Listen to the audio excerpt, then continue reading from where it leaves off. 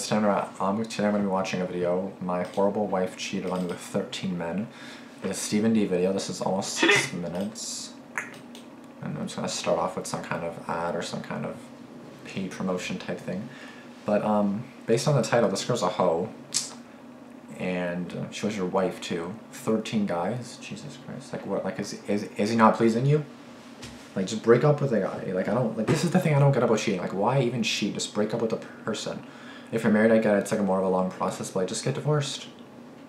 Even if it's not fully finalized yet, at least you filed for the divorce, so it's not like you're actually cheating behind her back. Like, you know?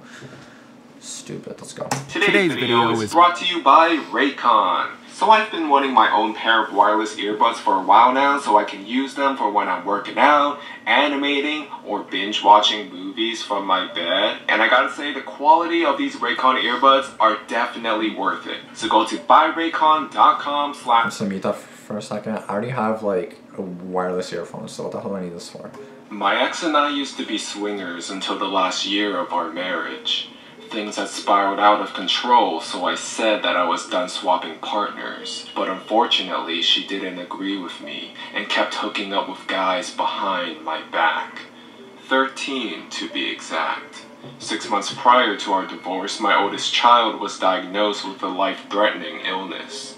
She started to crack under the pressure and started to drink a lot, putting herself and our children in danger. It got so bad that I moved out of the house for a couple of weeks and took our kids with me. During this time, her best friend, Amy, messaged me because my ex had disclosed all of her dirty deeds to her at girls' night a couple of days ago. She disclosed that she had been sleeping with a new guy every night and getting drunk when she had the kids. One time, she even left our three and four year old kids at home alone while they slept just so she can meet a guy. Amy said that my ex planned on filing for divorce once she drained some additional money from me while living rent free from oh, my fuck, home. Fuck you, bitch. Amy and I were both disgusted and knew that things had to come to an end. Step 1. I moved back into the house and plopped down on the bed right next to her. She lost her mind, saying that she wanted me out of the house now Fuck and you. would call the police if I didn't comply. But what she didn't know was that I was recording the audio of our conversation. She called the cops, reporting me for domestic violence. Well, the police showed up in no time and had me in cuffs so fast it made my head spin. The detective came to talk to me, and I let him listen to the recording. Before long, she was the one in handcuffs in the back of the squad car, and she got to spend the night in jail.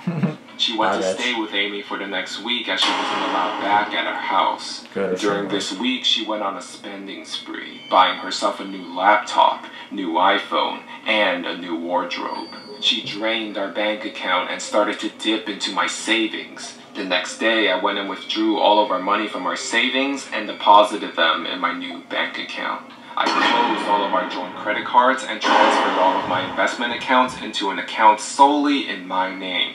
She lost it when she found out that she had no money to burn through anymore. what a bitch. She told Amy that she was contemplating on ending her own life because things had gotten so bad. Don't do that. Although I hated my ex, I didn't want to see her harm herself at all.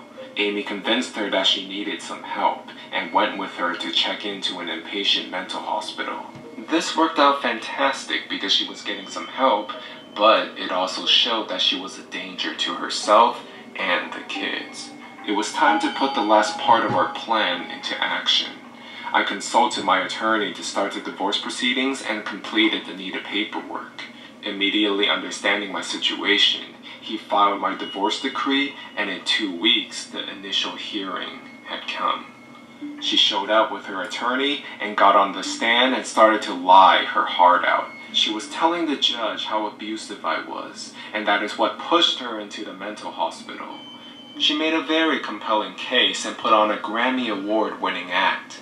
But then, it was my turn. My attorney presented all of the evidence, videos, and bank records. The defining moment was when my attorney called Amy to the stand to testify. She told an appalling story about a neglectful mom who was completely out of control. A story about a mother who had substance abuse issues that were only getting worse. My ex couldn't close her mouth the whole time that Amy was on the stand. She made her attorney look like an idiot as all of her lies were now being exposed and were contrary to what she told him. When the dust settled, I was awarded sole custody and she was awarded supervised visitation until she went to rehab and got additional treatment. We quickly settled out of court agreeing to a graduated visitation schedule once she complied with rehab and mental health counseling. I got the house after paying her a portion of the equity. I got to keep all of my investment accounts and I get to see my kids 80% of the time. Life is pretty good five years down the road, and it's even better knowing that she isn't my problem anymore. Once again, thanks to Raycon for sponsoring this video. Alright. Well, what a bitch, eh? Like, I will agree, like, just because, like, she died, like, I, I wouldn't want her to die. Like, I'm not that type of person that I'll just say, yeah, you're horrible, die, you know? Like, I will say she is, is, is a rotten little bitch, but, you know, like, I don't, I hate her, you know? But, like, especially for lying in court, like, I mean, like, what else are you gonna do if you're guilty? You're not gonna admit, oh, yeah, I did all this stuff and I went to jail, like... Of course, of course, you're gonna try, try to lie, but I mean, at least if you're honest about it, then, like, the judge may give you a lesser sentence, I would think. But if you just straight up lie, then you're gonna get a longer sentence for trying to lie, you know? So, I mean, like, lying is never gonna work out for you. Like, don't lie. I hate lying, I can't stand liars, and I try to do my best to be as honest as I can. And, yeah, so... That's all I really gotta say about that, but... I will say I'm glad that he got, you know, custody of the kids, or main custody, and I'm glad that everything was sorted out. And I'm glad that bitch is out of his life now and that he doesn't have to worry about her anymore. But yeah, like, what a bitch. Like, lying in court, freaking uh, leaving the kids, freaking be, uh, being drunk while with the kids. Like, obviously she needs help, you know. Obviously she needs help, so ho hopefully she got it or she gets it. And that's to be it for this video. So I'll see you guys in the next one. Thank you guys for watching. Be sure to like to this video. Subscribe. Be sure to turn on post other games as well. And as always, be sure to comment any suggestions you may have down below. And I'll get to them hopefully within a week or so. Okay guys, thanks for watching. Peace out.